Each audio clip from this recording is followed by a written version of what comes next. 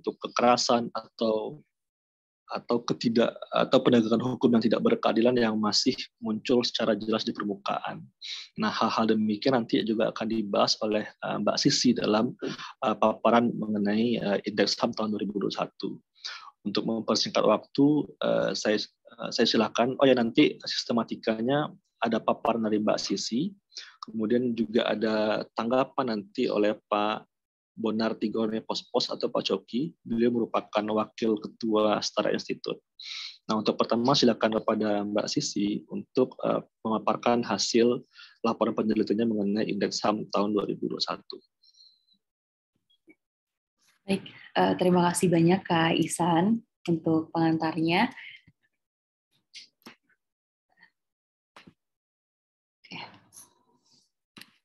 Selamat Selamat uh, pagi Bapak, Ibu, dan rekan-rekan yang sudah hadir dalam uh, forum Zoom ini.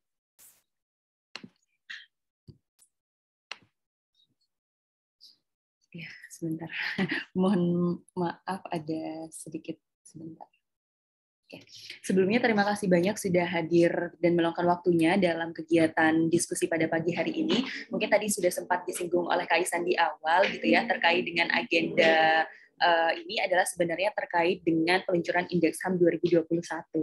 Dan mungkin tanpa langsung berlama-lama, saya coba untuk okay.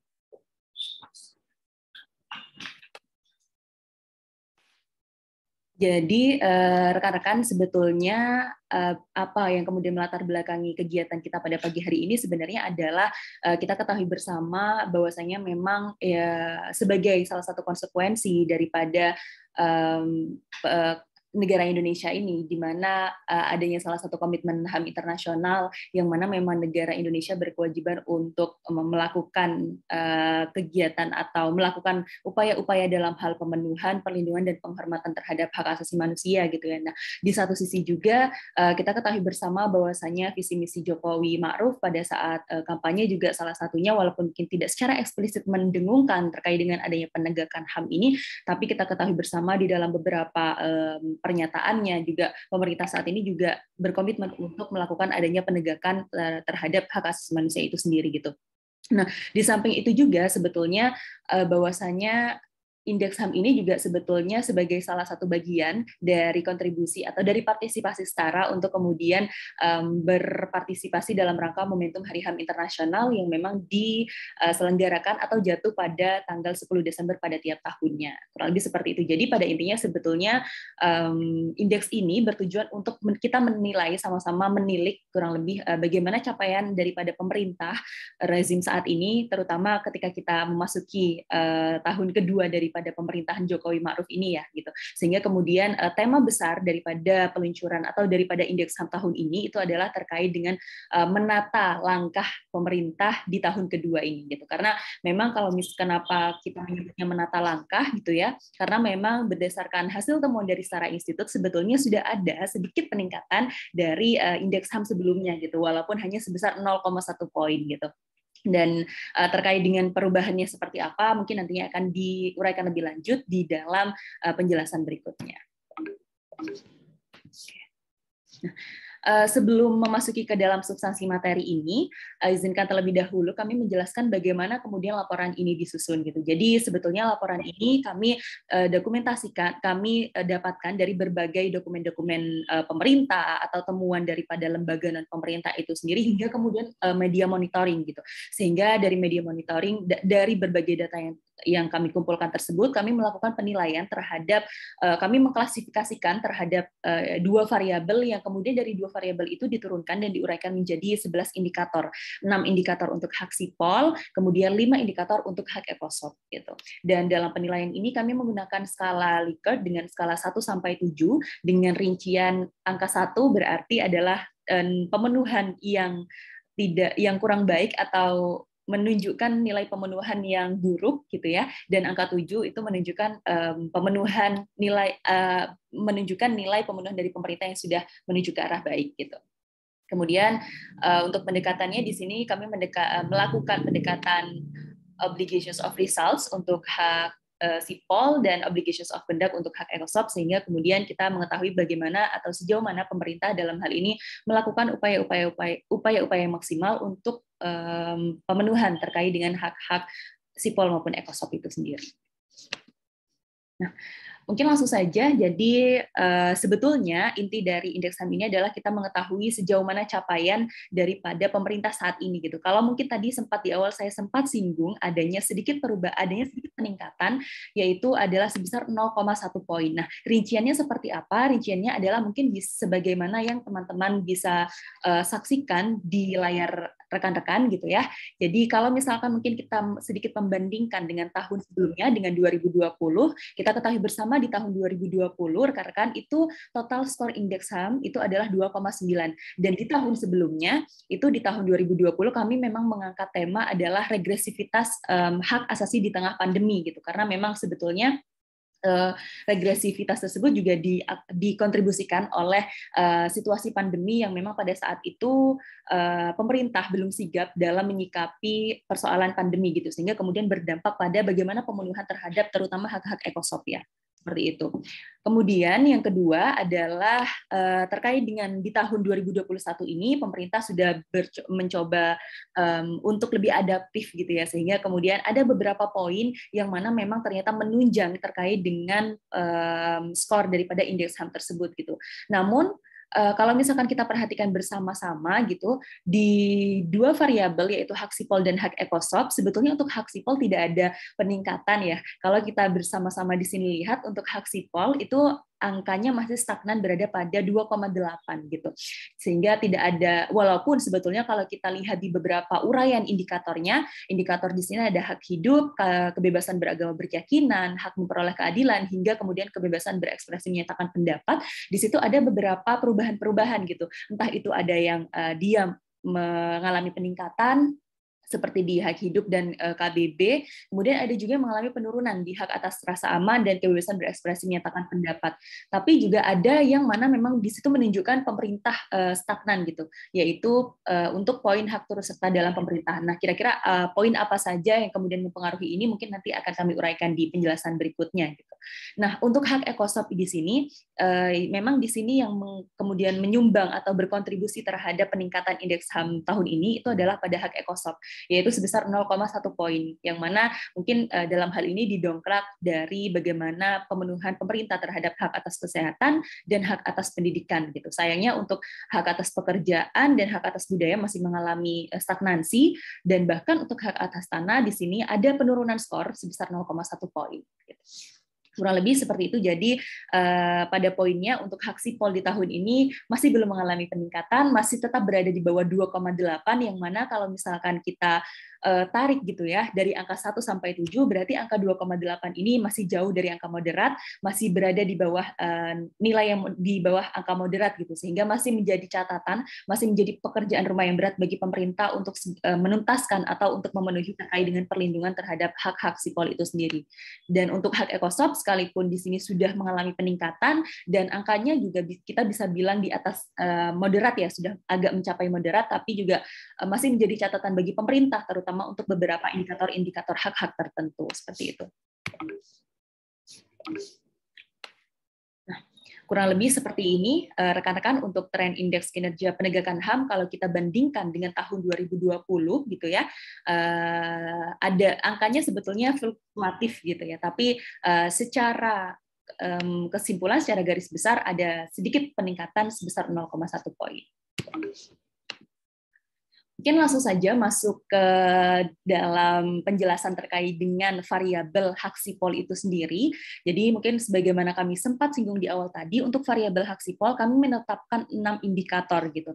Enam indikator apa saja, yaitu adalah hak hidup, eh, di mana di sini sebesar 2,5, kemudian kebebasan beragama berkeyakinan eh, sebesar 2,6, kemudian hak memperoleh keadilan sebesar 3,1 hak atas rasa aman, hak turut serta pemerintahan dan kebebasan berekspresi dan menyatakan pendapat gitu.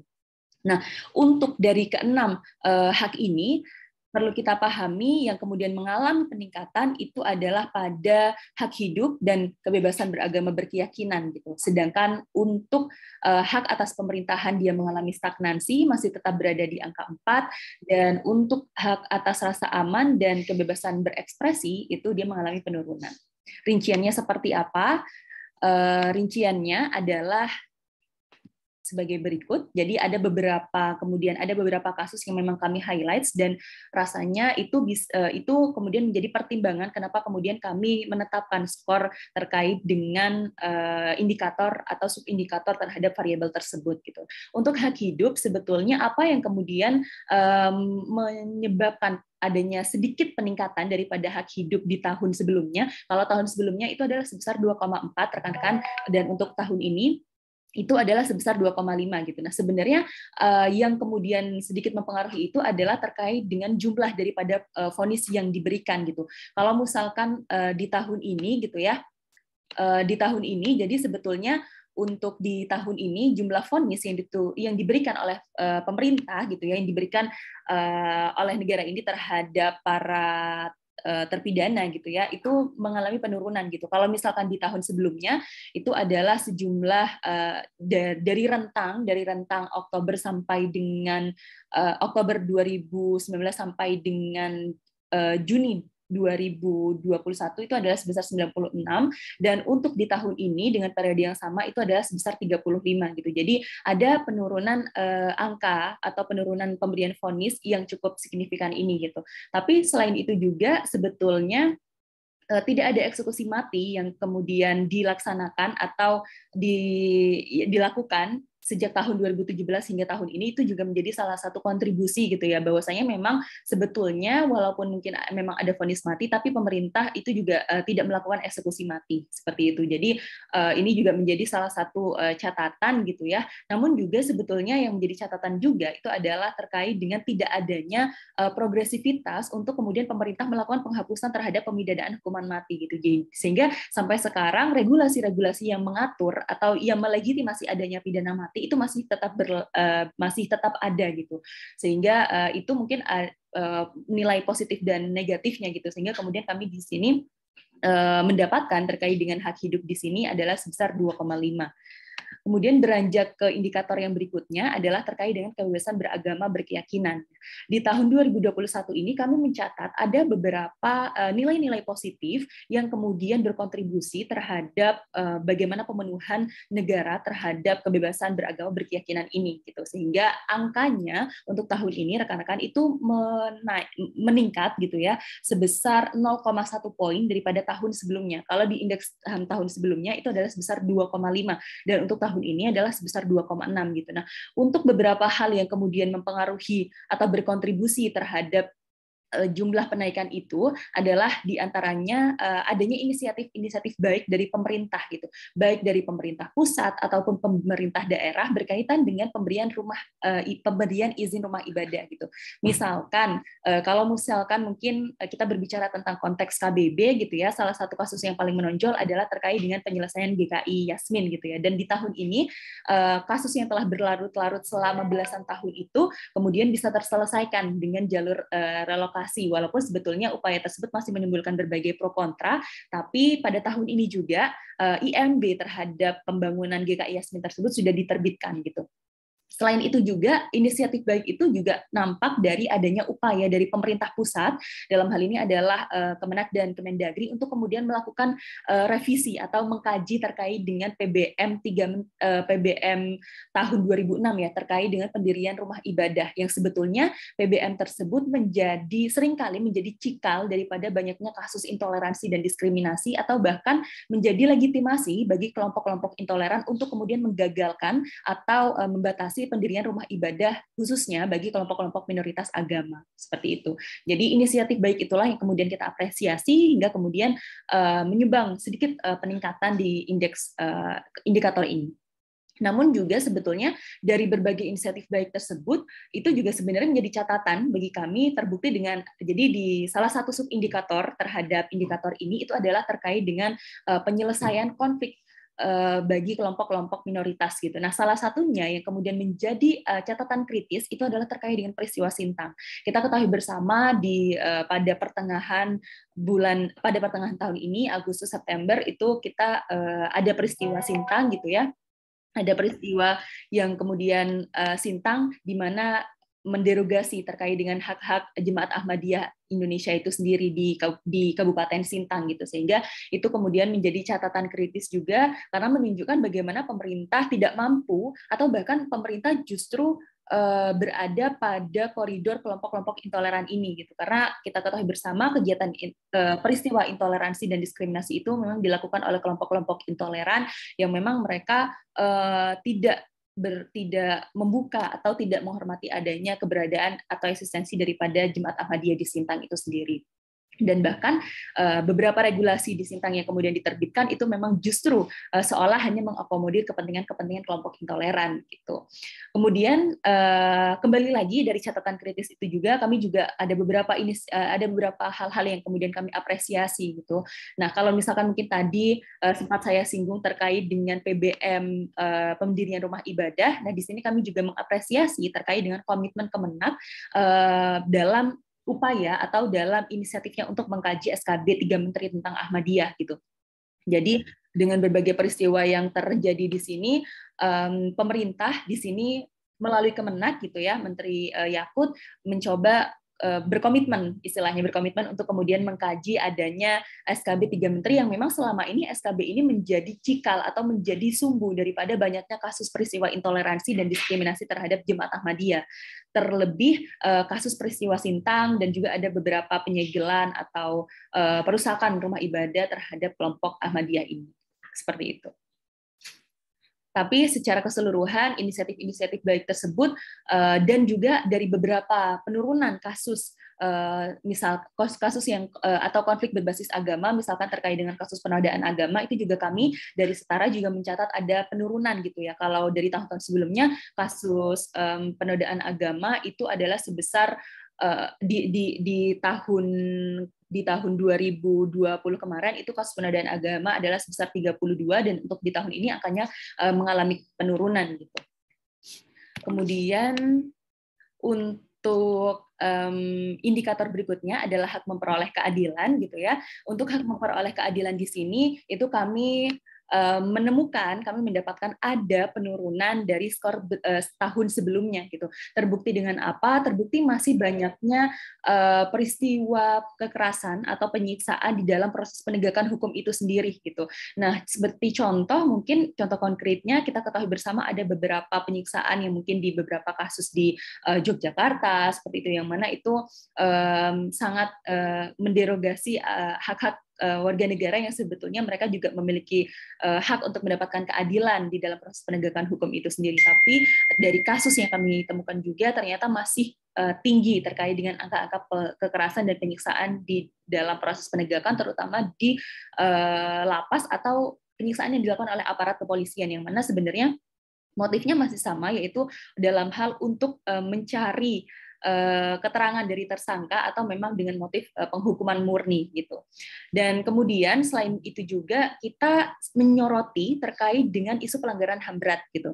Sebetulnya memang ada inisiatif Jaksa Agung terkait dengan pembentukan tim penyidik eh, untuk dugaan kasus Painaya. Sebetulnya itu juga kami mengapresiasi terkait dengan hal tersebut walaupun sebetulnya juga janji ini juga masih belum teruji gitu ya. Bagaimana kemudian nantinya penyelesaian terhadap kasus Painai ini apakah memang bisa benar-benar uh, terselesaikan atau masih juga mengalami kemandekan itu juga uh, inisiatif dari Jaksa Agung ini juga masih belum teruji gitu.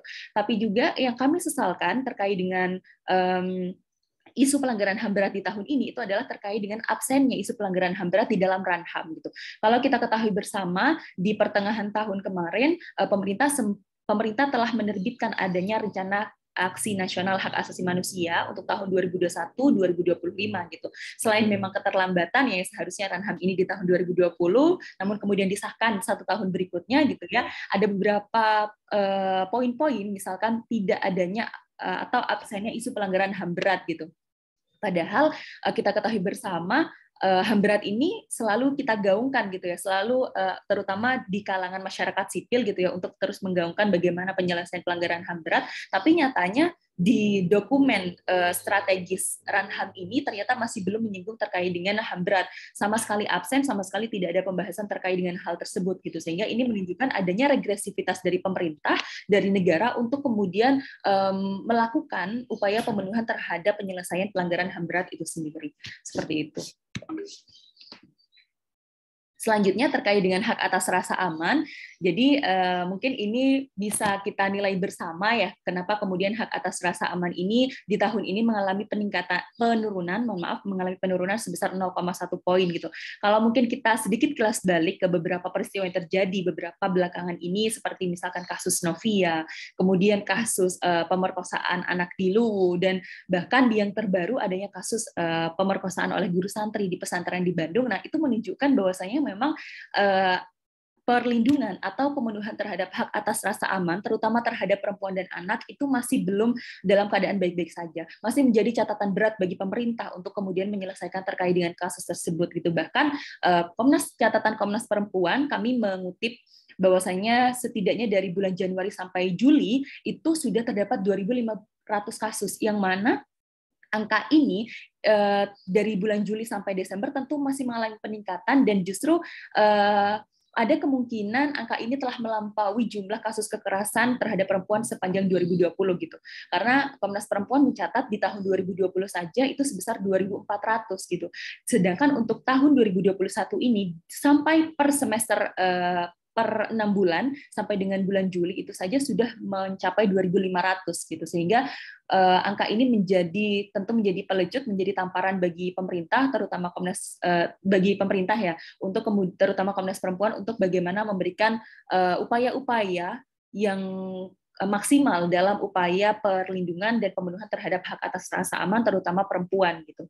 Selain itu juga masifnya kekerasan terhadap anak juga menjadi catatan kami di mana adanya pandemi itu juga sebetulnya mempengaruhi bagaimana um, perlindungan atau bagaimana anak ini kemudian mereka mendapatkan berbagai uh, tindak kekerasan gitu ya. Uh, terutama kalau misalkan kita agak sedikit kelas balik ada beberapa kasus eksploitasi terhadap anak kemudian kita menemukan juga ada beberapa kasus bayi silver gitu ya di beberapa daerah.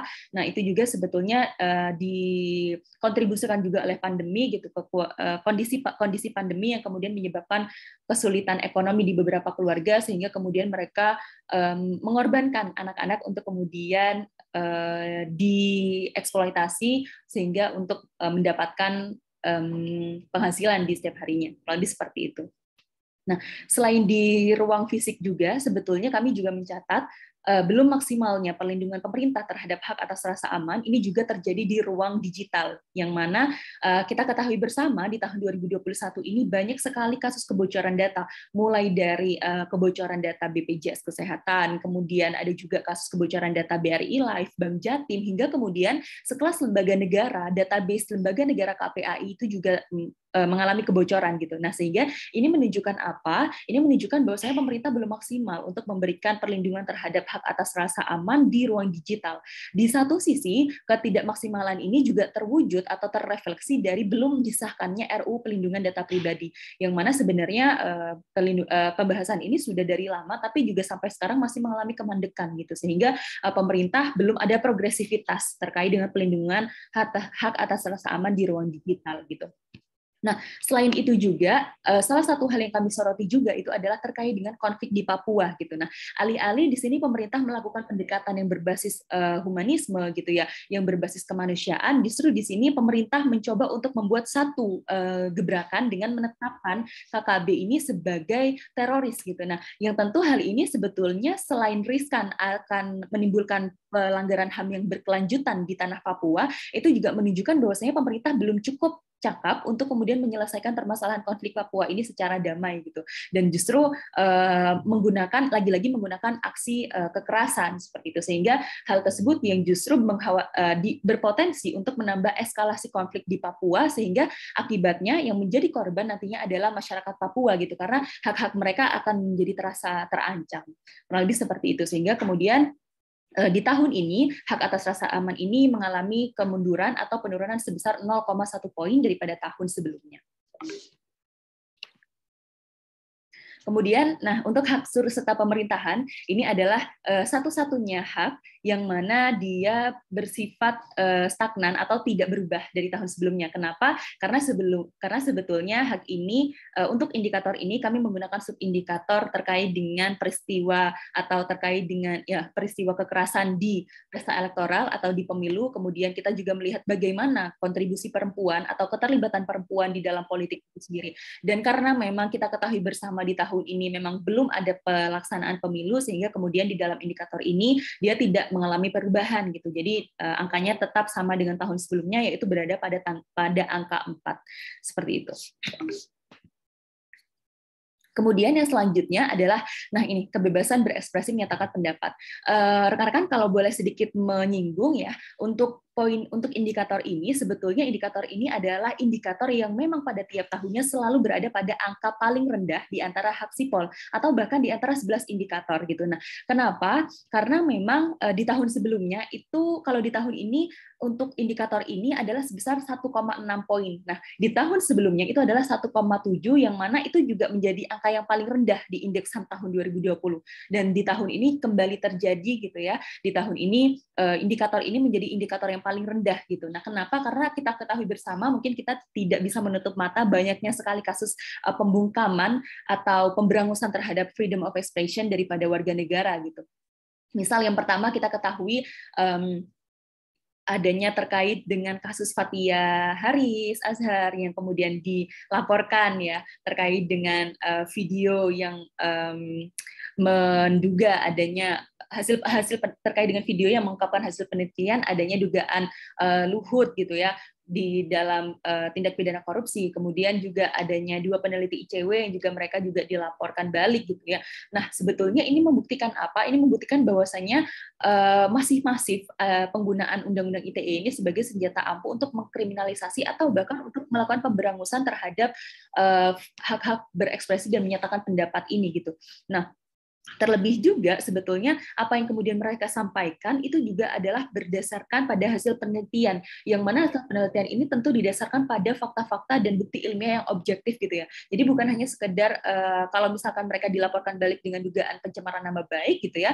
Uh, kami rasa di sini kami sepakat bahwasanya itu bukan uh, semata-mata pencemaran nama baik tapi juga mereka didasarkan pada bukti-bukti yang memang bersifat ilmiah yang dapat dipertanggungjawabkan gitu. Nah ini membuktikan bahwasanya sebetulnya selain memang ini adalah um, penggunaan kriminal eh, atau kriminalisasi undang-undang ITE terhadap para pembela HAM, tapi juga menunjukkan betapa arogansinya pejabat publik terhadap berbagai kritik yang disampaikan ke, terhadapnya gitu. Nah, alih-alih um, kritik dibalas dengan uh, anti kritik, kritik dibalas dengan uh, ya kritik dibalas dengan uh, anti kritik atau dibalas dengan pembuktian-pembuktian yang ilmiah gitu ya uh, di sini justru um, para pejabat kita gitu ya itu justru malah melaporkan balik gitu dengan duga, dengan dugaan um, pencemaran nama baik seperti itu. Dan kemudian juga selain terhadap pembela HAM Eh, ada juga beberapa kasus misalkan terhadap kekerasan terhadap jurnalis kami di sini mencatatnya misalkan contoh terkait dengan kasus Muhammad Asrul yang mana dia dikriminalisasi berdasarkan undang-undang ITE. Nah, ada poin penting yang sebetulnya kami highlight di situ gitu ya. Kasus Muhammad Asrul ini dia dipenjarakan atau dilaporkan atas dan bahkan dia sudah difonis, difonis pengadilan um, bersalah berdasarkan pasal 27 ayat 3 Undang-Undang ITE. Padahal sebetulnya kalau misalkan kita melihat di dalam SKB Undang-Undang ITE yang kemudian baru saja disahkan oleh pemerintah di tahun ini gitu ya, itu sebetulnya eh, terkait dengan institusi pers itu tidak termasuk ke dalam delik daripada pasal 27 ayat 3 gitu. Sehingga ini membuktikan apa? Membuktikan bahwasanya SKB Undang-Undang ITE yang memang menjadi instrumen menjadi instrumen hukum uh, untuk kemudian memberikan penafsiran terhadap undang-undang ITE nyatanya masih belum cukup efektif gitu untuk menekan terkait dengan adanya kriminalisasi terhadap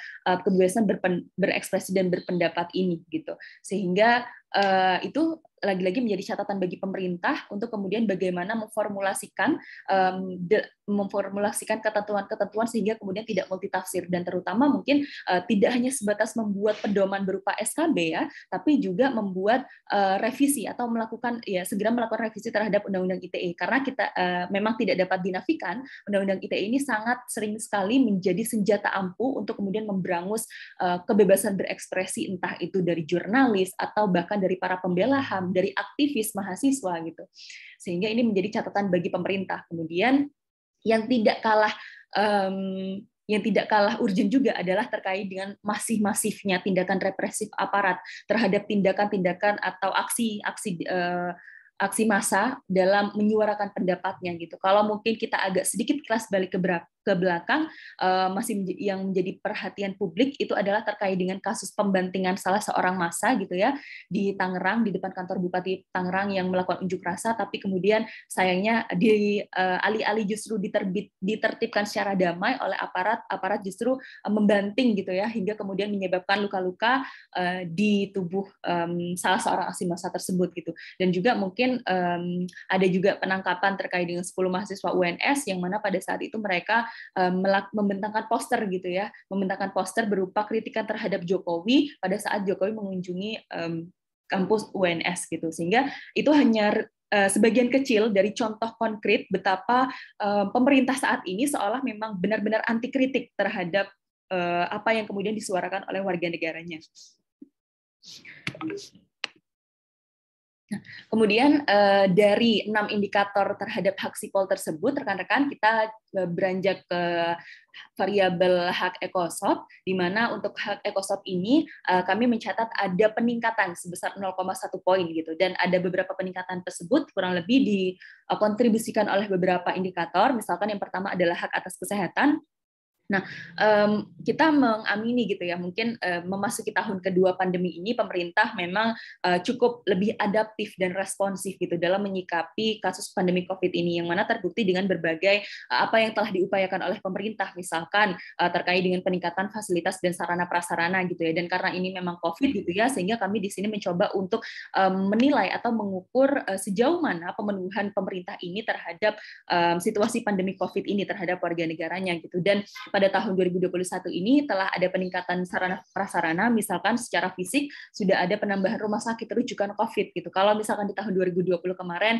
hanya ada 132 rumah sakit, nah tahun ini mm, bertambah banyak kali lipat gitu ya sebesar 984 rumah sakit gitu yang mana uh, ini tentu menjadi salah satu catatan positif juga bagi pemerintah gitu. Nah, selain itu juga selain secara fisik juga pemerintah di sini uh, memberikan layanan berupa virtual, layanan pengobatan virtual yaitu telemedicine dan juga adanya pengiriman obat atau vitamin gratis bagi pasien isoman Covid gitu. Jadi di sini pemerintah mencoba untuk memberikan pemenuhan atau memberikan atau mengirimkan obat-obatan dan vitamin gratis bagi pasien COVID yang sebenarnya itu diupayakan atau ditujukan agar rumah sakit atau uh, rumah sakit rujukan COVID ini tidak terlalu crowded sehingga kemudian rumah sakit rumah sakit yang ada ini adalah memang untuk pasien yang memang uh, mereka memiliki gejala yang berat atau sedang gitu ya. Sedangkan untuk uh, pasien isoman di sini pemerintah mencoba untuk uh, memberikan pemenuhan dengan pengiriman uh, obat dan vitamin gratis dan juga bekerja sama dengan beberapa platform jasa kesehatan online terkait dengan hal tersebut gitu.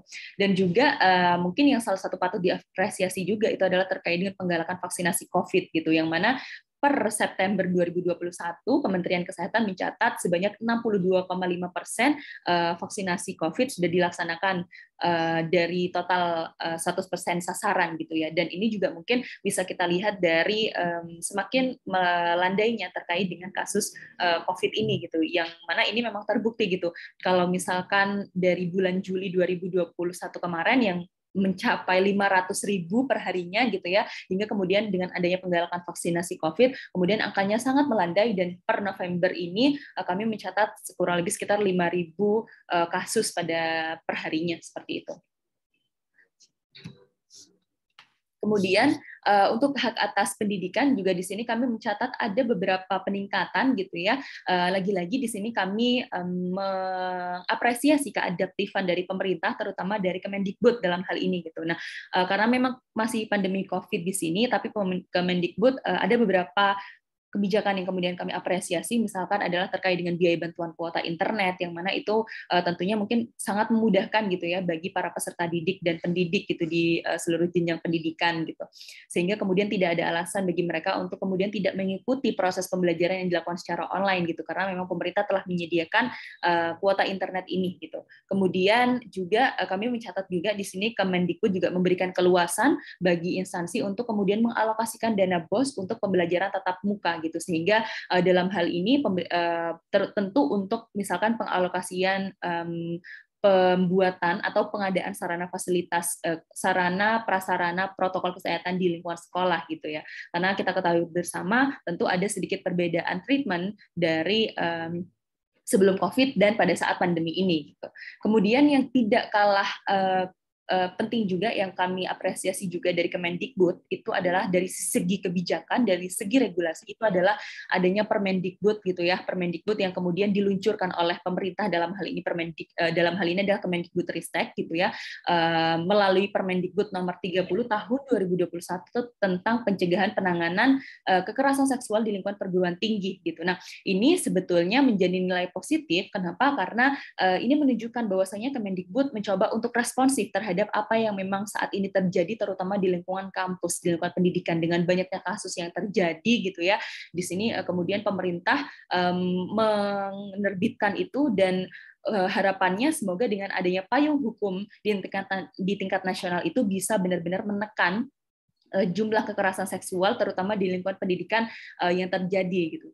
Dan terlepas dari berbagai pro kontra di masyarakat terkait dengan um, terkait dengan Permendikbud ini, tapi ini setidaknya menunjukkan bahwasanya memang pemerintah um, responsif ya, pemerintah bersifat progresif untuk melindungi uh, dan memberikan perlindungan terhadap uh, tidak hanya hak atas pendidikan, tapi juga hak atas ram, hak atas rasa aman terhadap para peserta didik di lingkungan pendidik, uh, institusi pendidikan tinggi. Kurang lebih seperti itu. Dan untuk hak atas ya, yang terakhir hak atas pekerjaan tanah dan budaya.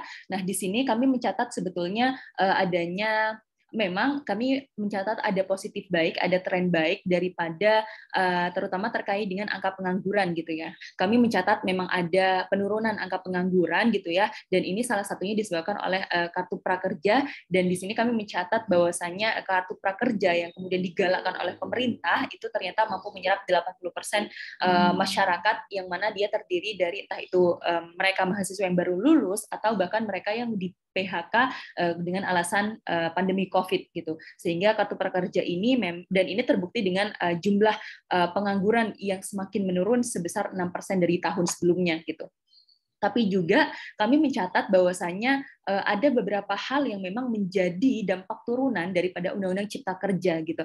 Kita ketahui bersama di tahun 2020 Undang-Undang Cipta Kerja disahkan begitu saja sehingga ini kemudian mempengaruhi hak-hak dan sampai sekarang juga sekalipun kita ketahui masih hangat gitu ya Mahkamah Konstitusi kemarin memutuskan dan menyatakan Undang-Undang Cipta Kerja ini dinyatakan bertentangan dengan konstitusi dan tidak memiliki kekuatan hukum mengikat sepanjang tidak dilakukan revisi eh, dalam jangka waktu dua tahun gitu. Nah artinya dalam jangka waktu 20 eh, dalam jangka waktu dua tahun sampai dengan 2023 ini masih ada kemungkinan potensi-potensi terderogasinya hak-hak eh, masyarakat terutama hak buruh gitu. Dan terbukti dengan tahun ini adanya ketidakadilan kebijakan upah minimum di dalam Undang-Undang Cipta Kerja ini juga menjadi salah satu poin yang kemudian menjadi um, keberatan atau menjadi bukti terderogasinya atau tergerusnya uh, kesejahteraan para buruh gitu. Misalkan um, terkait dengan kita ketahui adanya peningkatan UMP hanya sebesar 1,0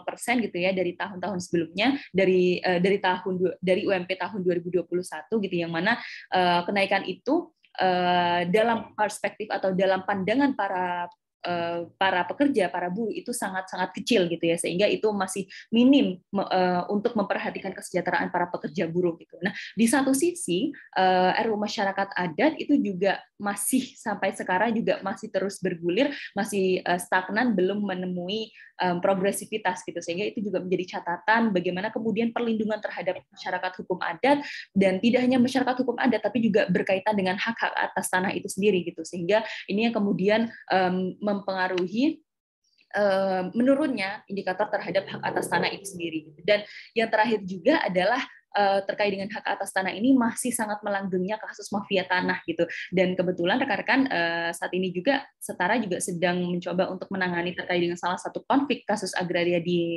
Riau gitu ya, yaitu terkait dengan petani uh, kampar melawan PTPN 5 gitu. Dan yang mana hak-hak uh, daripada kasus petani kampar ini mereka terderogasi, uh, mereka uh, ya terderogasi oleh uh, PTPN 5, tapi justru sayangnya para petani kampar ini justru mereka uh, dikriminalisasi balik gitu ya.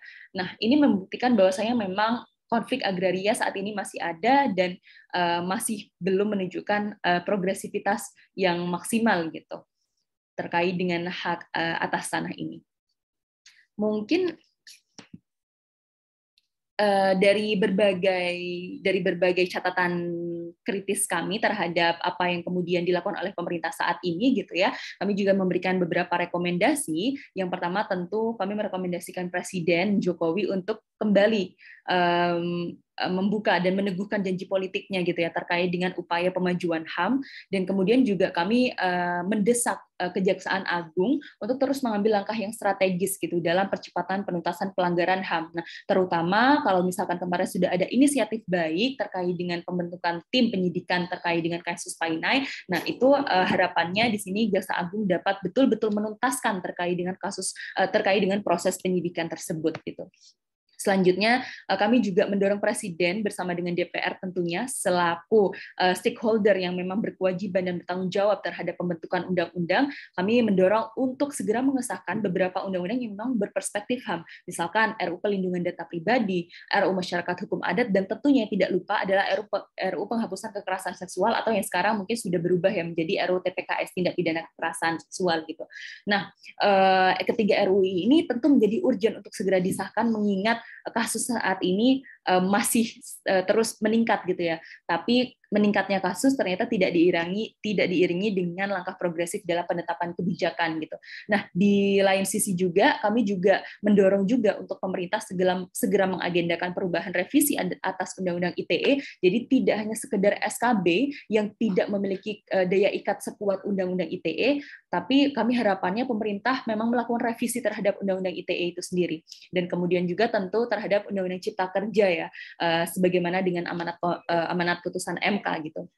Nah, kemudian yang ketiga itu adalah kami eh, mendesak Jokowi untuk memastikan jalannya pengaruh utamaan prinsip toleransi dan tata kelola pemerintahan yang inklusif gitu ya demi mewujudkan upaya atau kondisi iklim tata kelola pemerintahan yang lebih baik gitu dengan mengedepankan nilai-nilai hak asasi manusia itu sendiri.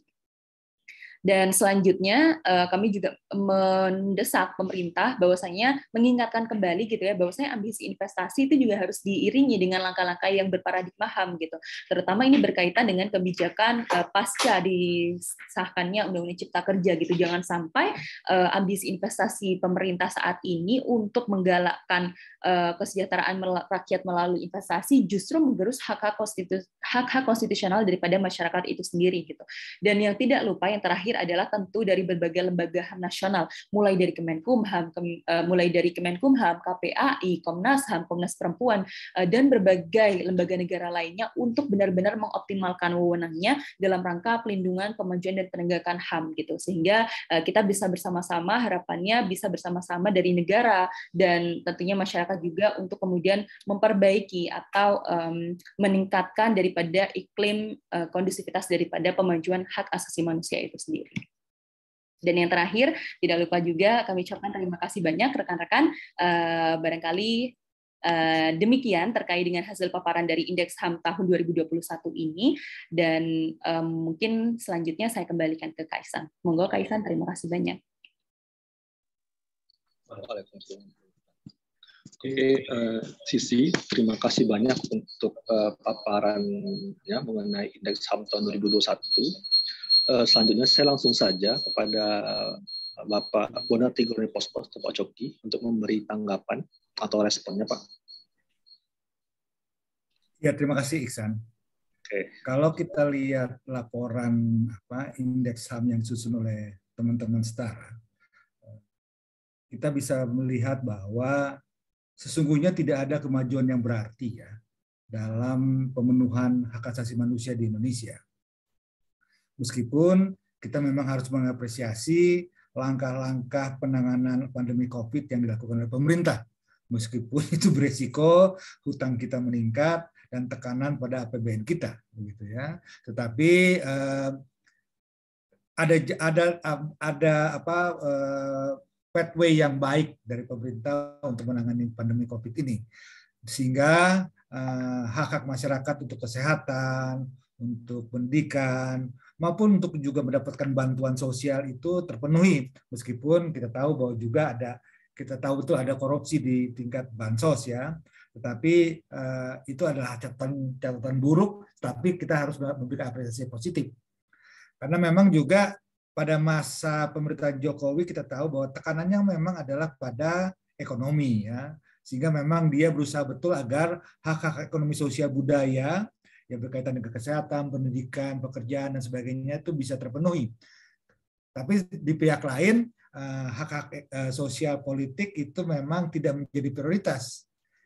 Itu sebabnya mengapa eh, kita lihat bahwa angkanya selalu tidak bergeser jauh. Itu sebabnya kalaupun tahun ini meningkat 0,1 sehingga dari kemarin 2,9 sekarang menjadi 3,0 itu bukan sesuatu yang signifikan. Dan problem selalu ada empat, empat indikator. Pertama adalah penyelesaian pelanggaran HAM masa lalu. Kedua soal kebebasan berekspresi. Ketiga adalah soal konflik agraria. Dan keempat adalah soal apa eh, berkaitan dengan pelanggaran kebebasan beragama. Ya. Tadi Sisi telah memaparkan beberapa aspek dan lebih detail tentang empat, empat isu ini begitu ya. Hanya saja uh, saya agak mengkritisi mengapa indeks apa kebebasan beragama itu uh, meskipun naik naiknya naiknya kecil ya 0,1 tapi menurut saya sih sebetulnya tidak uh, tidak juga gitu loh. Memang betul terjadi uh, apa penurunan kasus Eh, pelanggaran kebebasan beragama. Itu yang saya kritik dari laporan setara tahun lalu karena kondisi kebebasan beragama. Dalam masa pandemi, di mana kelompok-kelompok intoleran tidak bisa bergerak, bergerak ya, eh, kebebasan berkumpul juga di, direstriksi, tentu saja itu ber, ber, apa, ber, ber, ber, apa, berkorelasi dengan menurunnya aksi-aksi eh, kelompok-kelompok intoleran. Tetapi di media sosial kita akan bisa melihat bagaimana meningkatnya uh, apa toleransi, ujaran ke, intoleransi, ujaran kebencian, uh, serangan kepada kelompok-kelompok minoritas dan sebagainya. Bahkan uh, pada awal-awal pandemi juga ada beberapa beberapa kasus-kasus juga gitu loh. Nah itu saya menurut saya itu bukan indeks. Kedua adalah komitmen, itu baru komitmen dari dari Kemenak, komitmen baru retorika bahwa akan akan meninjau atau merevisi PBM, akan meninjau SKB tiga menteri tentang Ahmadiyah, tapi sejauh mana kita tahu juga kan juga tidak ada kemajuan. Dan saya ragu sebetulnya apakah pemerintah Indonesia akan berani uh, mencabut atau merevisi itu, gitu loh. Dan uh, uh, indikasinya yang jelas kita melihat bahwa mereka sekarang juga agak akan mundur, gitu loh. Nah, kalau bicara tentang misalnya bahwa ada ada penyelesaian masalah GKI Yasmin, tapi jangan lupa bahwa masih banyak Eh, rumah-rumah ibadah milik minoritas yang sampai sekarang susah untuk didirikan, susah untuk di, mendapatkan izin dan jauh lebih banyak daripada hanya satu yang satu sukses. Satu sukses jangan kemudian dijadikan sebagai sebagai tameng bahwa semua satu penutup bahwa semua eh, semua membaik gitu loh. Belum lagi bagaimana dengan rumah-rumah ibadah Ahmadiyah yang disegel dan sampai sekarang tidak bisa di tidak bisa di bisa di apa di, digunakan. Jadi uh, terlalu saya masih mengkritisi bahwa ada ada ada ada perbaikan dalam indeks kebebasan beragama dan berkeyakinan. Kalau soal kebebasan berekspresi seperti ya, tadi uh, sisi paparkan ya memang ini menjadi problematik apalagi dalam era digital sekarang ini ya dalam era media sosial ya uh, orang begitu bebas berekspresi bebas menyatakan pendapat tapi juga kemudian ada ada ada ada apa ada ada ada ada negatifnya, ada ada ada implikasi-implikasi negatif. Dan ini memang menjadi menjadi sulit juga gitu loh ya.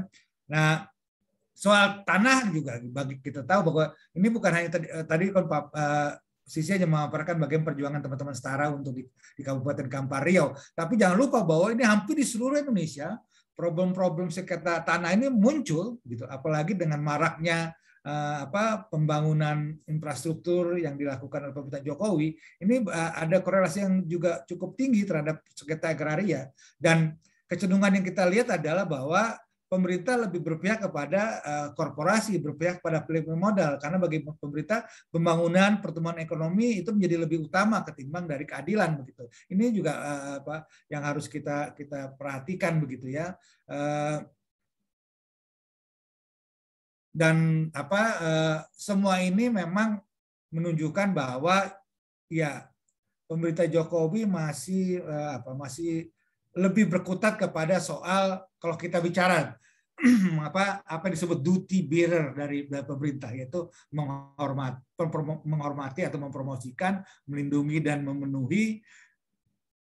Apa yang dilakukan pemerintah sekarang ini hanya hanya masih lebih banyak pada tingkat promosi atau menghormati itu sebabnya kenapa uh, pemerintah aktif misalnya menyusun rancangan aksi nasional HAM 2021-2025. Pemerintah aktif menjadi, uh, apa, uh, membanggakan uh, upaya Indonesia menjadi anggota Dewan HAM PBB untuk 2020 sampai 2022. Pemerintah membanggakan misalnya uh, keanggotaan uh, apa Komisi HAM di ASEAN itu selalu dari dari uh, masyarakat sipil misalnya selalu adalah pada tingkat masih tingkat pada penghormatan, pada tingkat uh, promosi, tapi pada tingkat bagaimana perlindungan, bagaimana pemenuhan ini masih menjadi masih menjadi problem bagi bagi bagi eh, kemajuan hak asasi manusia di Indonesia.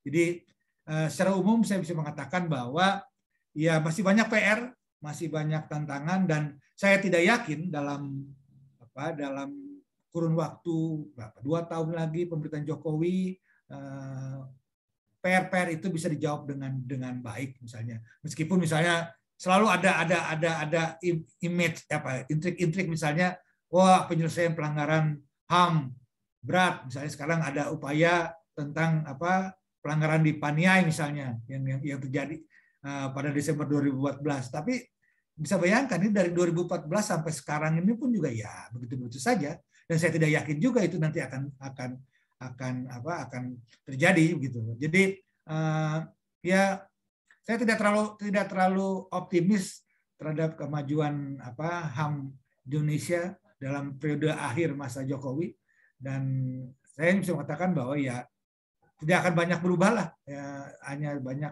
apa kita bisa katakan itu berjalan di tempat begitu atau atau stagnan.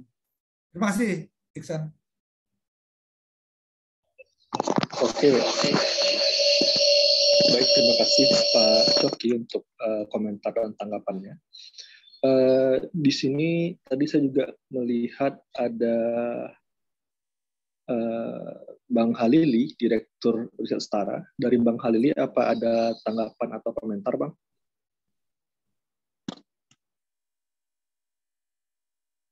Halo, Bang Halili. Oke, barangkali uh, saya pikir mungkin cukup. Eh, dari teman-teman apa ada pertanyaan atau pendalaman atau komentarnya? Jika ada disilahkan. Oh ya nanti uh, kita juga akan menyebarkan uh, paparan dari Mbak Sisi tadi dan juga uh, Exum Index HAM 2021 ini di, di kolom chat. Bisa di share Mbak Sisi. Jadi teman-teman barangkali yang belum sempat uh, mendengarkan dari awal bisa dilihat langsung atau dibaca langsung di Eh, draft yang kami kirimkan di kolom chat.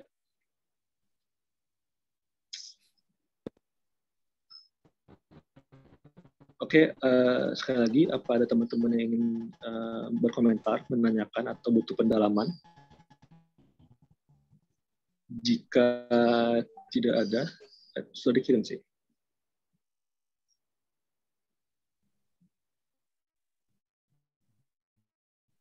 Oke, kita teman-teman bisa download. Jadi kalau tidak ada, barangkali kita cukupkan uh, uh, pertemuan virtual kita pada pagi hari ini. Tapi sebelum saya tutup, biar dikirim dulu ya bahan-bahannya. Jadi kamu bisa langsung download di situ dulu.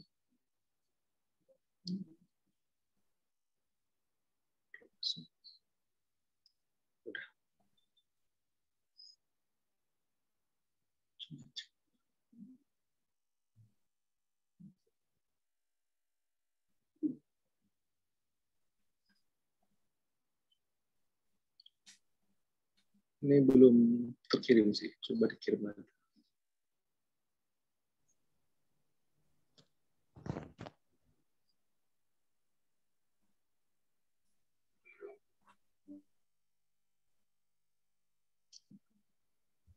Oke, ya, sembari menunggu uh, rekan sisi mengupload bahan-bahannya di kolom chat, jika ada teman-teman yang ingin berkomentar, disilahkan teman-teman.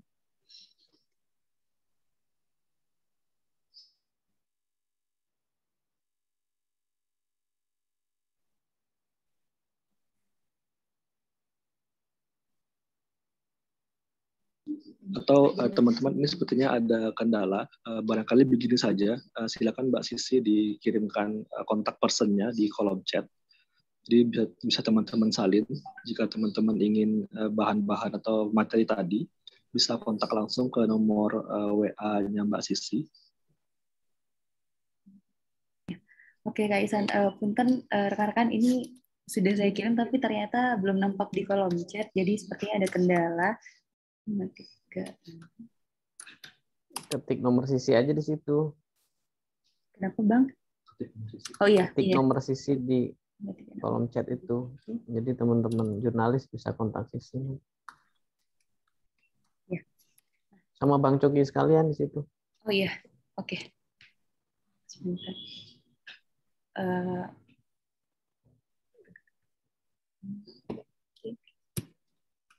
maaf Isan tadi saya no comment ya.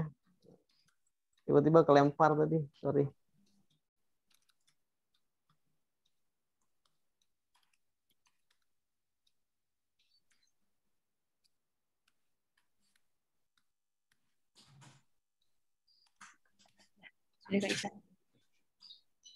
Oke teman-teman, itu di kolom chat sudah uh, dikirimkan uh, lembak sisi kontak person jika teman-teman ingin bahan-bahan atau materi tadi bisa dikontak Mbak Sisi atau eh, lanjut jika ingin pendalaman atau hal-hal lainnya yang ditanyakan silakan kontak yang ada di kolom chat. Oke, okay, uh, eh, demikian teman-teman uh, pertemuan meeting virtual kita pada pagi hari ini. Sekali lagi terima kasih atas kesediaan teman-teman sudah berkenan meluangkan waktunya uh, untuk hadir pada diskusi kita pagi hari ini. Uh, saya sebagai moderator dan mewakili Stara mengucapkan terima kasih banyak Uh, mohon maaf jika ada salah. Uh, wassalamualaikum warahmatullahi wabarakatuh. Semoga kita semua dalam keadaan sehat selalu. Terima kasih banyak uh, Pak Coki, Bang Lili, dan rekan-rekan Kaisan. Ya, sama-sama. Sehat selalu. Sehat selalu. Selamat pagi. Izin saya end. Siap.